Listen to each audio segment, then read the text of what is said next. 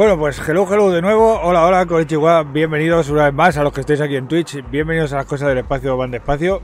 Para los que veáis este vídeo en YouTube, estamos en directo en Twitch, una vez más en mi canal StoneSeeker79 a las 5, a las 6 de la tarde casi del 21 de abril. Hemos hecho un bloque de noticias hoy y ahora vamos a ir con una especie de nueva sección o nueva movida que quiero introducir en el canal si me sale. Eh, que va a ser reviews, reviews de naves y reviews de mecánicas y reviews de cosas. O sea, más que guías, simplemente explicar la mecánica o explicar la nave. En este caso, voy a empezar con lo que tengo más a mano, que es la Imperial Cutter. Así que a esto lo podremos llamar review de la Imperial Cutter.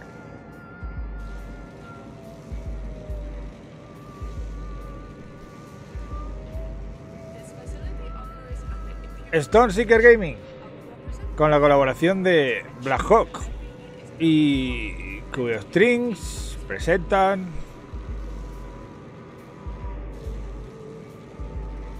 las cosas del espacio van despacito despacito despacito 3.0 bueno pues buenas Six Piccolo ¿qué tal?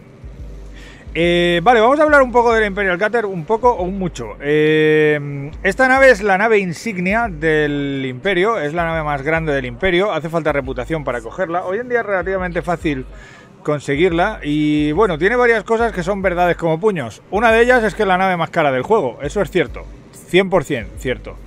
La segunda es que es la nave que tiene más escudo o capacidad de tener más cantidad de escudo del juego. ¿Vale? Esas dos cosas son ciertas e irrefutables. Y la tercera es que de las naves pesadas, ¿vale? Porque no, a mí no me gusta clasificar las naves como grandes, pequeñas y medianas. Hay naves que aterrizan en plataformas medianas, hay naves que aterrizan en plataformas pequeñas y que aterrizan en plataformas grandes. Pero, pero hay naves que son súper pesadas, como esta, la Anaconda, la Type 10, la Type 9 y la, y la, y la, eh, y la Federal Corvette, que son naves con una masa brutal, que son naves muy tochas, ¿vale? Y luego hay naves que aterrizan en, plataformas grandes, como la Type 7, como la Cañonera, como la como la Clipper o la, o la Orca, o, la Orca, por ejemplo, que, bueno, y la Beluga también está entre las naves enormes, ¿eh? eh que aterrizan en plataformas grandes, pero no tienen esa masa tan inmensa como estas naves, y no tienen esa capacidad como estas naves, ¿vale? Así que de las cuatro naves gigantescas, o de las cuatro o cinco naves gigantescas que hay, es con diferencia la más rápida, o sea, es la que más corre en velocidad hacia adelante, como los coches, ¿vale? las características de esta nave o las características principales, ¿vale? De esta nave es que, es que tiene una masa bastante bestia, eh, tiene mogollón de módulos, mogollón de espacio de módulos y tiene los motores en la parte trasera. La potencia principal de los motores la tiene en la parte trasera. El resto de thrusters de la nave son bastante horribles. Horribles quiere decir que están situados en forma en sitios muy pequeñitos y muy extraños y son muy pequeños. Así que su movilidad general, excepto, excepto en horizontal hacia adelante, es bastante triste. Bastante, bastante vamos a llamarla. O sea, es una, es una de las pocas naves que cuando le metes ingenieros eh, a sus motores no pierde la, la, inercia, o sea, sigue teniendo una inercia de la hostia. Digamos que es, yo, yo, si lo comparáramos con un coche, esto sería el muscle de los, el muscle, ¿no? Como los queráis llamar, de los del espacio, ¿vale? O sea, es una nave con mogollón de potencia en la parte de atrás, pero con muy pocos frenos y muy poca capacidad para girar. ¿vale? Sí que pega unos derrapes de la hostia, pero ya os digo, básicamente pega unos derrapes en el espacio de la hostia. Lo cual a alguien le puede parecer muy guay y a alguien le puede parecer muy cutre. A mí me parece guay de pilotar. A mí, personalmente, me parece guay de pilotar. Pero no sería una de mis elecciones a la hora de hacer depende qué cosas. ¿Vale? Eh, sí es cierto que por lo menos para la mayoría de nosotros es la nave más chula del juego. Yo creo que en cuanto a diseño es la nave que más mola. Eh, tiene mogollón de pinturas, tiene los alerones y tiene una capacidad bastante chula para hacer muchas cosas. Eh, es una nave multipropósito, Así que cuando hablamos de hacer muchas cosas, empezamos a meternos en el tema de capacidades internas de esta nave. Vamos a empezar por repasar un poco los armamentos, ¿vale? Vamos a hablar de ella primero en, términos técnicos, ¿vale? La nave mide casi 200 metros de larga, es bastante alta, tiene unos 7-8 pisos de altura, si no más. Ya os digo que si la veis, si la veis desde fuera, podéis ver que tiene un mogollón de motores atrás, lo que hace que la nave sea súper rápida en horizontal eh, pero que sea súper triste en todo lo demás. En horizontal hacia adelante, hacia detrás va muy lenta, hacia arriba, hacia abajo. es una nave que es bastante incómoda de manejar y que además tiene muchísima inercia, ya os digo. O sea, incluso ingenierizando los motores tiene muchísima inercia. Eh, tiene varios pisos, como podéis ver, ahí tenéis un piso, por aquí se ven ventanitas con otro piso por ahí abajo, más abajo se ven unos, unos ojos de buey con más pisos, ¿vale? Se ven, o sea, es una nave bastante alta y bastante grande. Fijaros, hay que hay como mínimo uno, dos, tres, cuatro pisos más. Eh, ya os digo, es una nave muy grande, muy tocha, con una capacidad probablemente para llevar a mucha gente dentro si la lleváramos, eh, y con unos módulos enormes y con unas capacidades bastante guays. O sea, se puede, se puede conseguir convertir esta multipropósito casi a cada rol que queramos y casi haciendo todos ellos en medias altas. Eh, en medias altas, ¿qué quiere decir? Que sí que es verdad que es un gran tanque, es una nave muy buena para tanquear, tiene los escudos más potentes del juego, eh, indiscutiblemente los más potentes, no hay nada que se le acerque a la Cater, o sea, estamos hablando de una diferencia de unos 5.000, 6.000 escudos con la siguiente. o sea, esta nave puede alcanzar entre, entre 10.000 y 12.000 escudos y, es la única nave que puede llegar a eso. O sea, la, siguiente se queda en 6.000 o algo así. Estamos hablando de prácticamente el doble que cualquier otra nave. Esto tiene una explicación, es el diseño de la nave. La nave es muy fina y el escudo es la cantidad de energía que hay entre el casco y la bola que hace el escudo. El escudo cuando cubre las alas, la cantidad de energía que hay el, del escudo de 8 en esta nave es mucho más amplia que cualquier otra nave que tenga un, volumen mucho más amplio, ¿no? Entonces ya os digo, por otro lado es una de las naves con la masa peor equilibrada, tiene una masa óptima horrible. Eh, entre otras cosas, me imagino que esto viene porque lleva el motor atrás. Habría que ver el tema de diseño y todo eso como lo habían hecho. Pero, pero no salta tanto como otras naves grandes cuando las aligerizas. Hay que decir que, por ejemplo, la corbeta tampoco salta una mierda. Así que bueno, tampoco es nada nuevo. Eh, la corbeta es una nave de combate y las naves de combate no saltan nada. Vamos a pegarle un repaso rápido a los módulos y vemos de qué podría ser capaz esta nave, ¿vale? Eh, insisto, es la nave más cara del juego. No estoy haciendo esto porque piense que es la mejor nave, es porque la tenía marcada y la tengo equipada y pensé que podía empezar por ella porque la conozco mejor que otras, ¿vale? Así que, pues bueno, vamos a hacer esto y luego más o menos os digo qué roles, qué roles podríamos utilizar con ella y tal. Vamos a empezar por tiene por cuántos módulos grandes lleva, ¿vale? Lleva un módulo de 4 grande, ¿vale? Un módulo de 4 de, de, arma grande, un cañón gordo de 4, lo más grande que hay, en la parte de abajo, totalmente centrado un módulo, dos módulos de tres, de cañones de tres, o sea, de armas de tres, en la parte de arriba de la nave, justo encima de la cabina. Eh, bueno, un poco más atrás. Dos módulos más de dos en la parte de abajo. Y dos módulos más de dos en las alas, lo que llamaríamos las alas, encima de los motores laterales. Eh, las naves de Gutamaya tienen una característica, ¿vale? Y es que las naves fabricadas para el Imperio sacrifican la funcionalidad o, la, o, el, buen hacer, no sé cómo decirlo, el, eh, la utilidad por el diseño, ¿vale? Entonces, las naves de Gutamaya, las, las armas las llevan esturreadas por toda la nave y apuntan en línea recta. No me preguntéis por qué, ¿vale? Me imagino que porque si apuntaran de forma central, todas las demás naves se quedarían en mantillas, en cuanto utilizáramos fijos y cosas así, porque tienen muchas características que sobrepasan a muchas otras naves. Entonces, hablo de las cuatro naves del Imperio, incluida esta. Entonces, si esta nave tuviera las armas centradas, su calidad como nave aumentaría considerablemente. Pero bueno, no es así, tienen las armas cada una apunta para un lado, o sea, todas apuntan en línea recta, entonces no es como por ejemplo la Anaconda, que todas apuntan dentro del círculo central donde estás apuntando. Esta no, las tienes turreadas, las dos de las alas apuntan a los laterales, las dos de arriba, los de tres apuntan aquí, la de la 4 apunta aquí, las dos de abajo apuntan aquí, ninguna va al medio, vamos. O sea, todas están apuntando en línea recta. Es una nave que está bastante, bastante, eh, digamos que no está orientada para el combate, está orientada para defenderse quizá eh, está orientada para aguantar, si te engancha, te engancha bien, te engancha bien enganchado. No gira mucho, porque ya os he dicho que los thrusters en general son muy pequeños y tiene una capacidad de, de giro y de movimiento en general bastante limitada. Eh, Incluso en FAOF es una nave que es complicada de pilotar, ya os digo, para mí es el, es el Muscle del espacio, es el Viper del espacio, no sé cómo deciros, o el Corvette del espacio. Eh, mucha potencia atrás, pero poca en todo lo demás. Entonces ya os digo, apuntar con ella es muy complicado y encima las armas, pues pues eh, tienes que ponerse las asistidas, por lo tanto nunca vas a hacer tanto DPS como con una nave que tenga las armas centradas y puedas ponerse las fijas y hacer mucho más daño con ella. Así que sí que es verdad que en este aspecto, para mi gusto, es una desventaja que tiene la nave, pero cuando te haces a los mandos esto es como todo. Al final es 10% nave, 90% piloto, hay pilotos que con esto te destrozan, incluso con fijos, etcétera, etcétera. Así que ya os digo, eh, yo os digo los módulos que tiene, podéis poner un módulo de 4, un cañonaco de 4 grande, 2 de 3, 2 de 2, o sea, 4 de 2 en total. Eso nos da una baraja de, posibilidades a la hora de combinar armas bastante interesante. Pero bueno, ya os digo, eh, la pega que tiene es esa. Todas apuntan hacia adelante desde donde están puestas. Así que cuando si se las pones todas fijas, tienes una batería de puntitos delante tuyo que cada uno apunta para un lado. Así que bueno, alguna pega tenía que tener. Eh, utilidades, como todas las naves grandes, tiene 8. Eh, así que podemos meterle la combinación que queramos de 8 utilidades. Si le metemos booster de escudos a casco porro, lo, ideal suelen ser dos a que nos suban las resistencias, la cinética, la termal y tal. Porque más de dos ya no se acumula demasiado y ya no nos suben mucho las resistencias. Y el resto aumentar escudo, o por lo menos 5 o 4 aumentar escudo y ahí es donde nos plantamos en un escudo super bruto. Yo llevo un escudo B-Wave y tengo 4710 de escudo en esta nave con solo 6 booster. Con un escudo C eh, que se regenera mucho más rápido que los escudos normales, ya sabéis.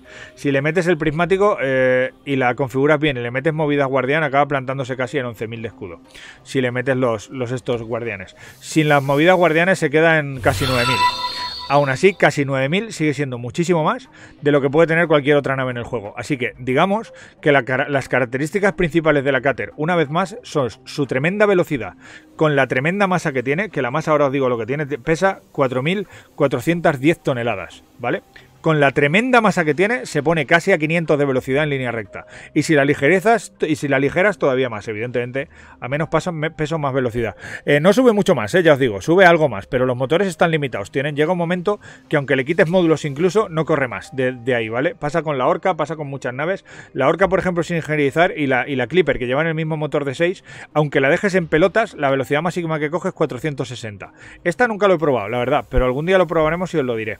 Y se pone, se pone a una velocidad brutal. Se puede poner hasta 502 metros por segundo, que es mucho más de lo que corren muchas naves pequeñas, incluso ingenierizadas. Así que ya os digo, tiene una potencia en 4.410 eh, toneladas, que te peguen una leche en un rameo a, a 502 metros por segundo, te dejan la nave fresca y encima su escudo aguanta como una campeona. Así que si sabes girarla bien y hacer unos buenos rameos, irte hacia atrás y venir con unos buenos rameos, es una de las naves más temidas a la hora de pegarte un leñazo a tu, a tu nave, ¿vale?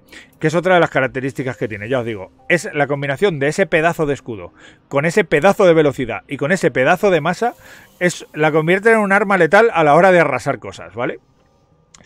Eh, sí que es verdad que, como os digo, la capacidad de salto no es muy buena porque veréis que la diferencia entre su masa total y su masa, y su masa óptima, que es la de en medio, es horrible. O sea, tiene 2000 y pico de masa, no me acuerdo cómo se llama esa masa, pero la óptima es la de en medio, que son 2336, y la diferencia entre esa y su masa total es brutal. Son como unos 2000 de masa, al menos en este tipo de nave que la llevo equipada para minar. Tampoco lleva módulos demasiado pesados y no tiene armadura. Eh, llega a saltar 27 más 10 de los, de los módulos de guardia así que no podemos decir que sea una gran saltadora. Sí que es verdad que aligerándola mucho supera los 50, pero una vez más, no es de las mejores saltadoras del juego. Pero bueno, tampoco es una nave super de esto, pero si quieres hacerte una nave para explorar a larga distancia y tal, yo no la aconsejaría, cogería una anaconda, va a ver, para esas cosas cojo la Anaconda, que es la nave que más salta del juego. ¿Vale? Cada una tiene sus características y esta específicamente no es una característica de la Cater. Por suerte, gracias al módulo Guardián, hoy en día se puede mover bastante bien. O sea, quiero decir, eh, aparte de sus entre 20 y 28 más o menos que acaba teniendo en salto cuando la acabas de equipar y la tuneas bien, si le metemos esos 10 más, pues acabas saltando entre 30 y 37, que la verdad es que es algo que se agradece ese módulo Guardián y a veces hay módulos que nos sobran y es una nave que no se va a mover del todo mal por la burbuja y que la vamos a poder utilizar para muchas cosas como ahora veréis. Cuando vamos a los módulos internos, eh, vemos que lleva una armadura, eh, lleva una armadura bastante bruta, tiene una base de un... Mm, mm, mm, vale, no me acuerdo cuál es la base de armadura, pero luego la miro, ¿vale? Si queréis. Tiene mucha armadura de base, tiene un montón, tiene mil y pico puntos de vida, porque sí, si mal no recuerdo. Y luego ya lo que vale vayas aumentando conforme la, conforme la ingenierizas. O sea, la armadura es bastante grande, pero tener en cuenta que, que la armadura o el casco, como lo llaméis, o el blindaje, va a razón de lo grande que es la nave. Casi siempre, menos en las naves de comercio. que ahí hay una distinción, ¿vale? En las naves eh, de transporte tienen mucho menos puntos de vida de lo que deberían, ¿vale? Pero en el resto de naves multipropósito, combate y tal, normalmente depende de su tipo de armadura, que suele ser bastante alto, mucho más alto que las de transporte. Eh, eh, mientras más grande es el tipo, mientras más grande es la nave, más, más puntos de vida tiene, básicamente. Así que, evidentemente, esta es una, la segunda nave más grande del juego. La otra es la Beluga. La única nave más grande que esta y más pesada es la Beluga. Y la Beluga es una nave de transporte, así que no, no tiene tanta, tanta armadura como esta, tiene mucha menos. Eh, tiene un núcleo de energía de 8 en el que la mayoría de las veces, si no empezamos a meterle muchos plasmas y cosas así, nos sobra energía eh, siempre. O sea, si lo ingenierizamos a tope y le metemos el 8A, etcétera, etcétera, tiene un montón de energía. Y a malas, eh, si queremos aligerar la nave y la queremos hacer súper ligera para que salte esos 50 y pico que os digo, podemos incluso poner plantas mucho más pequeñas y podemos jugar con todas las plantas del juego, porque el 8A es es el máximo que hay. Eh, los thrusters son de 8, como os he dicho, es una nave con una potencia brutal. Hay muchas, muy pocas naves con los thrusters de 8 y muy pocas que le expriman la potencia, al menos ya os digo, en horizontal como esta. En las demás no. En las demás es horrible, pero ya os digo que la, cuestión es por una cuestión de diseño. No es que no tenga potencia en el motor, es que los thrusters del resto de la nave, tanto los traseros, los delanteros, de hecho ni siquiera tiene traseros, utiliza los delanteros y los, y los laterales para ir hacia atrás, o sea, imaginaros. Si os dais cuenta, los thrusters son estos agujeritos azules. Imaginaos la mierda de agujerito para el pedazo de nave, ¿vale? Cuando hay otras naves que tienen unos pedazos de thruster delante, como por ejemplo la SP, o como por ejemplo otras, que cuando se echan hacia atrás ves el ves toda la llamarada. Aquí no ves una mierda, ves un poco de aire que sale. Los únicos thrusters de persona que lleva son los traseros. Es un avión, básicamente. Es un, es un, es un bólido, pero, pero el resto de movilidad es muy, muy, muy triste. Eh, tiene un motor de salto de 7, que creo que es el motor de salto más grande del juego.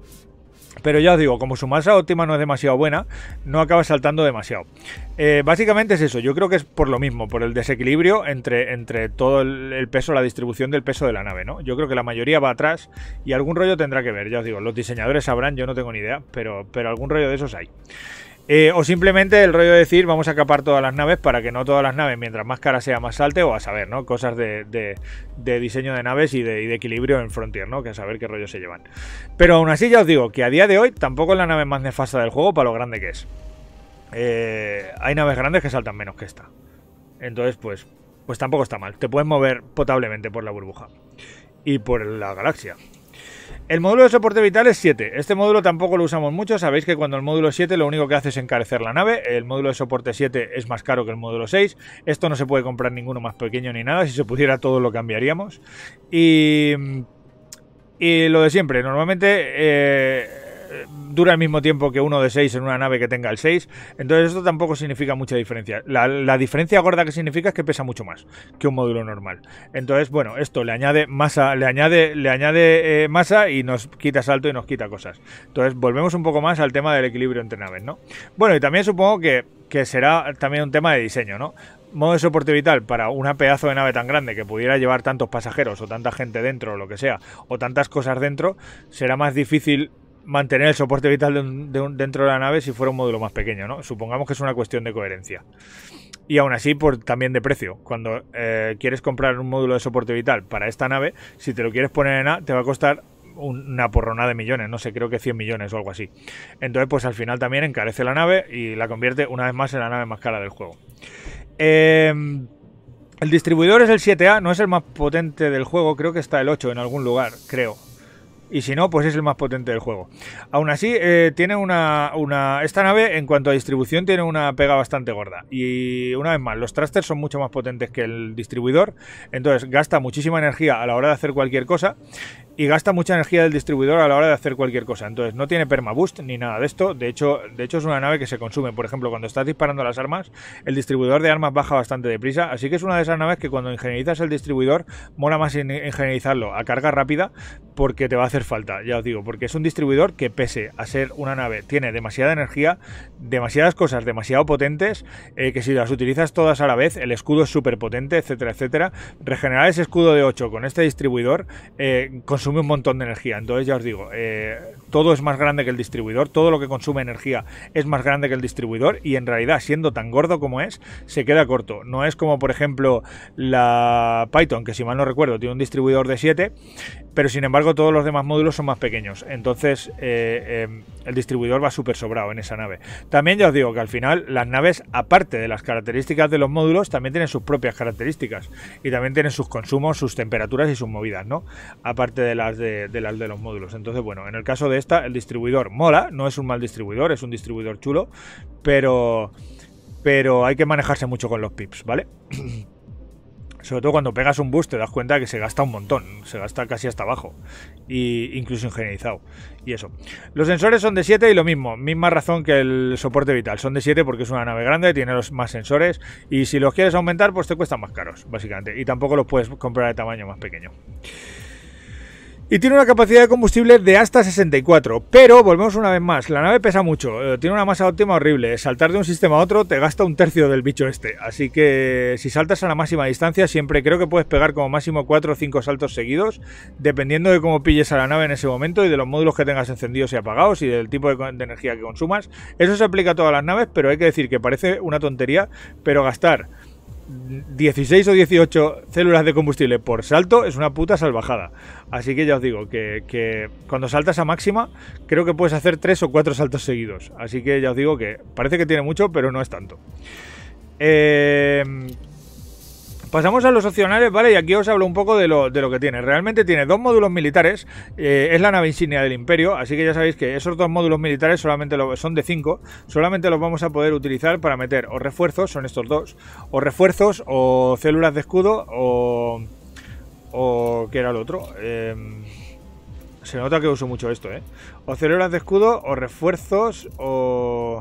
Aquí no hay nada más de escudo, refuerzos o refuerzos de módulo, ¿vale? No podemos meter nada más aquí. Entonces tiene dos módulos de 5 que bueno, yo normalmente meto refuerzos y ya está. Hay quien se metería dos células de escudo dependiendo para qué, para qué los uses, ¿vale?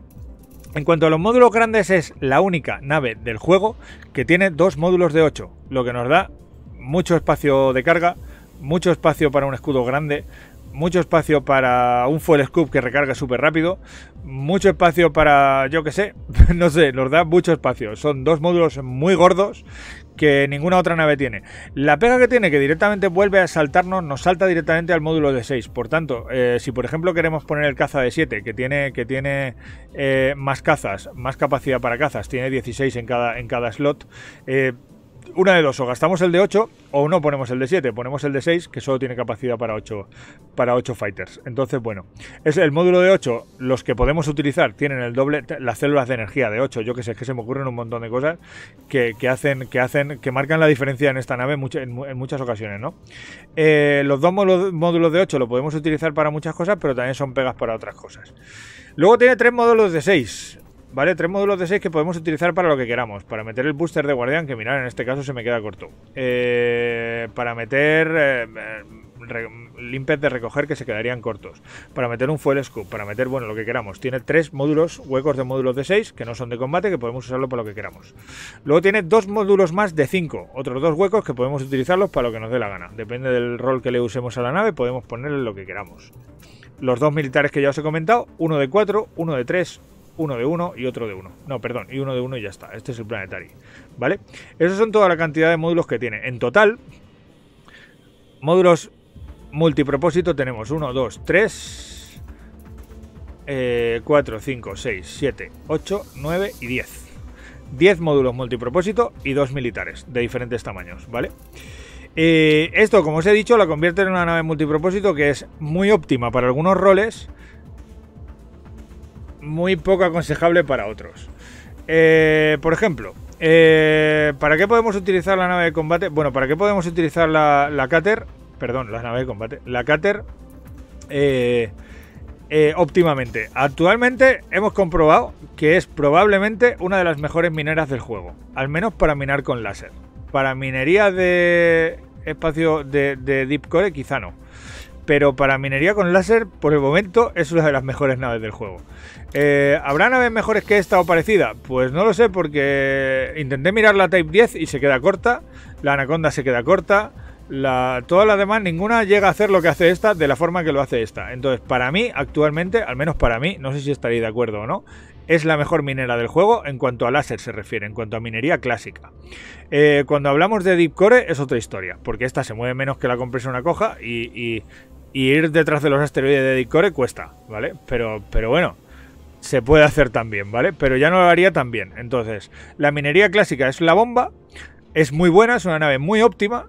Para la minería eh, Deep Core puede hacerla, puede hacerla porque tiene muchos módulos, puede cargar mucho y tal y cual, puede llevar todas las armas, puede llevarlo todo de sobra pero a la hora de moverse alrededor de los asteroides para ponerle las cargas, para taladrar con los estos, como sus armas apuntan cada una a un sitio, pues tienes que currártelo un poco más. Pero no quiere decir que no pueda hacerlo, pero para mí no sería la más óptima. Meteríamos una nave un poco más ágil ahí, yo creo. Esta es muy poco ágil, las cosas como son. Eh, como nave de combate, eh, pues no está mal. Es una gran nave de combate. Tiene el mejor escudo del juego. Es una gran nave de combate hablando de naves grandes, ¿vale? No vamos a compararla con una nave mediana o con una Fer de Lance o con una Mamba porque no tiene sentido comparar. Vamos a comparar naves grandes con naves grandes, naves pequeñas con naves pequeñas y naves medianas con naves medianas. Creo que, creo que ahí estaríamos acertados. Sería duro decir que es una gran nave de combate si la comparáramos con la Vulture, que es una puta máquina de matar. Eh, esto es un barco gigante, es un barco de guerra gigante que solo puede apuntar hacia adelante, que, incluso cuando ponemos armas asistidas, nuestro ángulo de disparo es algo así como así. Es muy triste el, el, ángulo de disparo en el que podemos disparar con todas las armas a la vez. ¿A qué se debe esto?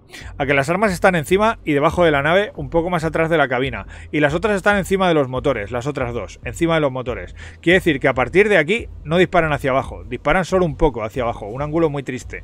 En las de abajo solo disparan un poco hacia arriba, o sea, lo poco que pasan del morro disparan hacia arriba, y las de arriba disparan hacia abajo lo poco que pasan del morro. Quiere decir que nuestro ángulo óptimo de disparo no es ni 90 grados siquiera. Disparando con todas las armas, nuestro máximo DPS es una mierda de ángulo así. ¿Vale? En, horizontal. O sea, es horrible. Disparar con todas las armas, prácticamente tienes que tener la nave centrada todo el rato. Cuando hay otras naves que tienen las armas alrededor y su ángulo, ángulo óptimo de disparo, etcétera, etcétera, eh, se acerca más a los 60-70 grados, 80. ¿Vale? Esta no. ¿Vale? Esta no. Entonces, sí que tiene mucha potencia de fuego y tiene mucha potencia de rameo si eres capaz de acertar, porque ya os digo que se mueve muy mal. Pero, pero sí que tiene mucha potencia de fuego, tenerla la tiene. Pero, pero evidentemente su capacidad de DPS es mucho más baja que cualquier otra nave de estas. Sin embargo, es la que mejor tanquea. Y eso es impepinable. O sea, es la nave que más escudo tiene y además puede tener una cantidad brutal de casco también. Eh, para ser una nave grande. También es cierto que, que, que que luego tienes otra opción más, otra, otra ventaja más, y es que es la nave que más rápido puede largarse, y que es la nave con más masa del juego, después de la beluga que evidentemente no la vas a meter en un combate, porque meter una beluga en un combate es, mandarla al matadero, básicamente, porque no tiene escudo, ni tiene, ni tiene casco, ni tiene nada. Pero, pero después de la beluga es la, masa, la nave que más masa tiene. Ergo le hace masa a cualquier otra nave y ninguna nave le hace más a ella. Tendrías que utilizar varias naves grandes para hacerle más a este bicho. Y no solo eso, esas varias naves grandes, a no ser que también sean cutters, no la van a pillar en velocidad en la vida. Entonces, cuando te aburres, te piras y hasta luego. Si tu estilo de juego es más o menos ese, en combate, esta nave está hecha para ti. El rollo de me voy. Eh, esta nave se suele utilizar haciendo pasadas. Me voy hacia allá, doy la vuelta, vuelvo, pam, pam, pam, pam, pam. Te, centro, te meto las pasadas, te intento ramear. Si te engancho, te parto en dos. Fua, me voy hacia allá, vuelvo a dar la vuelta y vuelvo. No es una nave para hacer una lucha de barcos como es la Anaconda o la Corbeta. Del rollo de pom, pim, pom, pim, plom, pam, pam. ¿Por qué esas naves combaten así? Porque no tienen velocidad. Y tienen algo más de giro. Pero como no tienen velocidad, no tienen otra forma de combatir, realmente. Tienen que ponerse una delante de otra y dispararse hasta que se maten. Pelea de barcos piratas. ¿Vale? Entonces es un poco eso. Esta nave es ligeramente distinta de esas, en ese aspecto. Que no quiere decir que sea mejor ni peor. Significa que es para otro tipo de pilotaje, para otro tipo de piloto distinto. en cuanto a nave de transporte, es la nave que más transporta del juego. Otro hecho más. Bueno, si mal no recuerdo es la segunda nave que más transporta de juego. La otra nave creo que es la Type 9 y la Type 9 es de pagar cartulina. Así que entre tu elección entre esto y la Type 9, pues creo que la Type 9 que transporta un poco más de esta, creo, ¿eh? No, no me acuerdo. Las últimas noticias que yo tenía es que está transportada a 700 y pico y la Type 9 no, pero bueno, parece ser que ahora ha cambiado. Supongo que por los huecos esos nuevos que han puesto con las expansiones o algún rollo de esos. Pero bueno, es una de las naves que más transporta del juego, de las dos que más transportan, así que para transporte es bastante óptima. Como habéis visto, tiene un montón de huecos para pasajeros, o sea que incluso, o sea, para módulos, que incluso la podríamos usar como una gran nave de pasajeros. En cuanto al tema de exploración, Eh, sabéis que es una nave que salta poco, sabéis que es una nave que si te aproximas a los planetas vas a caer a plomo porque no tiene trastes para aguantar, es una nave que tienes que bajar, levantar el morro, darle al boost y luego equilibrar eh, la caída, sobre todo si bajas en planetas con mucha gravedad. Así que o te montas un escudo bueno o hacerla nave súper ligera para, para, para eh, explorar planetas, su masa sigue siendo brutalmente tocha, incluso aunque lo ligeres, y aterrizar en depende de qué planetas, pues no es lo más óptimo del mundo. Y aparte tiene otra desventaja más, todas las naves eh, con, forma, con forma alargada se calientan como Dios, y esta no es una excepción. Incluso con los módulos apagados, cuando estás recargando combustible, si te acercas mucho a los planetas, se calienta mucho. Cuando sales de gravedad de planetas, etcétera, se calienta mucho. Todas las naves eh, con forma alargada en el juego tienen la ventilación peor que las naves con forma más redondeada. ¿Por qué? Cosas de Frontier, no lo sé. Eh, en el caso de esta, tiene una movida atrás que se levanta y ventila. Hay otras que veis que se abren tres o cuatro cosas y tienen más movidas que ventilar. Yo creo que más que la forma es el diseño. Pero, o sea, el diseño de la nave en sí. Esta nave ventila peor que otras. Punto. Ya está. No ventila peor que una beluga, ni que una orca, que ventilan peor que esta también. Pero ventila peor que una Type 10, que no se calienta nada. Ventila... Peor que una anaconda, no, anda ahí ahí pero ventila muy mal. O sea, dentro no es la nave en la que te quieras despistar si estás pasando por estrellas o si estás dentro de dos estrellas a la vez o cualquier rollo de esos. Aún así, ya os digo, como para explorar, yo soy de los que piensan que cualquier nave sirve. O sea, si tú eres feliz en ella, tú mismo. Pero bueno, yo como nave... Bueno, no sabría deciros si es una nave óptima para explorar o no. Ya digo, podríais utilizarla para lo que os dé la gana. El, para hacer misiones, pues ya depende un poco de vosotros. Ya sabéis que los pasajeros, por ejemplo, a mí, como normalmente casi todos, eh, donde más misiones de pasajeros puedes coger es en las estaciones grandes, en los outposts suele haber menos. En realidad no te va a importar mucho el que no pueda aterrizar en estaciones medianas, pero para estaciones, para misiones normales, sí que hay estaciones, o sea, sí que hay eh, naves mejores que esta. La, para mí, la misioneadora por excelencia es la Python. Pero aún así, bueno, ya sabéis que puede cargar un montón, puede llevar un montón de tipos de misiones a la vez, puedes desenrollar muchos roles, podríais hacer misiones de combate con ella tranquilamente. Sí que es verdad que es una nave que combatir con ella contra piratas o lo que sea, es algo que no es demasiado emocionante. Eres eh, un escudo con pies, eh, incluso tienes una cantidad de casco brutal, aunque vayas a escudo. Eh, entonces, aunque te ataquen con phasing o lo que sea, tú estás ahí pam pam con tu, con tu caza. Es una de las naves que pueden llevar caza, que ya lo hemos dicho. Tú estás ahí con tu caza y pam pam pam tranquilamente hasta que el pirata se muera de aburrimiento o se muera. Y a ti a lo mejor te deja con un escudo o te deja con lo que sea. Entonces, no es súper entretenida y súper emocionante de pilotar, no, pero es verdad que es efectiva, las cosas como son una cosa no quita la otra. Entonces, ya os digo, se pueden hacer misiones de puta madre con ella. Y ya os digo que esto no va a querer decir que otras naves nos digan se pueden hacer misiones de puta madre, ¿eh? que coste. Estoy hablando de esta, cuando hablemos de otra hablaremos de otra y ya está. Y finalmente eso, posiblemente la nave más bonita del juego, o lo que, en mi opinión, a mi forma de verla, una de las naves más bonitas del juego, la nave con más escudo del juego, indiscutiblemente, la nave grande, con gran tonelaje, que más corre del juego, no que aterriza en, plataformas grandes, sino con más tonelaje de las naves de gran tonelaje, la que más corre del juego, además con mucha diferencia de, sus, primas, o sea, corre el doble o el triple que las otras, para que os hagáis una idea. O sea, la Anaconda creo que se pone a 300 con mucha suerte, y si le empujas. Y la Corbeta igual. O sea, imaginaos, esta se pone a 500 y, y pico, ¿no? Eh, y ya os digo, eh, cuando quieres hacer algo con estilo, la nave que mejor mina probablemente a día de hoy para el tema de, de minar diamantes. Y si quieres hacer cosas con estilo, solo tienes que subirte a una cáter y ya está. No sé si os servirá o no servirá de algo esta review de la Cater. Quería poner meteros un poco de historia, pero ya no me ha dado tiempo a más porque he estado investigando lo de, lo de lo que os he contado antes de las noticias anteriormente, que no quiero sacarlo otra vez. Así que si os ha molado, pues ya sabéis, si lo veis en YouTube, dadle a like y todo eso. Haremos más reviews. Si os molan estas reviews de naves, haremos más. Eh, tengo que preparármelas porque no todas las naves las conozco como esta. Y conozco unas cuantas, pero no todas las del juego. Por desgracia, no me sé todo lo del juego. Hay quien piensa que sí, pero no. No me sé todo de memoria. Joder, la memoria es finita. Yo tengo memoria de pez y no me acuerdo de qué he comido. Hace una hora que comido o dos. Así que imaginaos. Pero bueno, si os ha servido, intentaré haceros review de otras naves, de los posibles roles que podéis hacer con ella, de los posibles roles que van a hacer más óptimamente que otros. En vez de hacer naves óptimas, iremos revisando nave por nave y, viendo a ver qué podemos hacer con ellas y todo eso. Si os mola el rollo, si no, pues, pues esta será la primera y la última. Y dicho esto, si lo veis en YouTube, acordaos de veniros a Twitch a preguntar cosas y todo eso. Y si lo dejáis en los comentarios, pues lo responderé cuando lo vea, cuando pueda o cuando sea, o en otro vídeo. No lo sé. Y los que estéis en Twitch, ponemos una mini pausa y nos vemos en 5 segundos aquí. Y para los que estáis en YouTube, ser buenos, comer mucho y nos vemos en el próximo vídeo. Si soy capaz de poner el ending, si no soy capaz de poner el ending, me seguís aguantando aquí. Vale, espera, una, dos y tres. Las cosas del espacio van despacito, presentado por mí con la colaboración de Black Hockey. Muchas gracias a todos los subes, a todos los follows y a todo Cristo. Esto que gaming. Seeker gaming. Seeker gaming. Creo que no he puesto los marcadores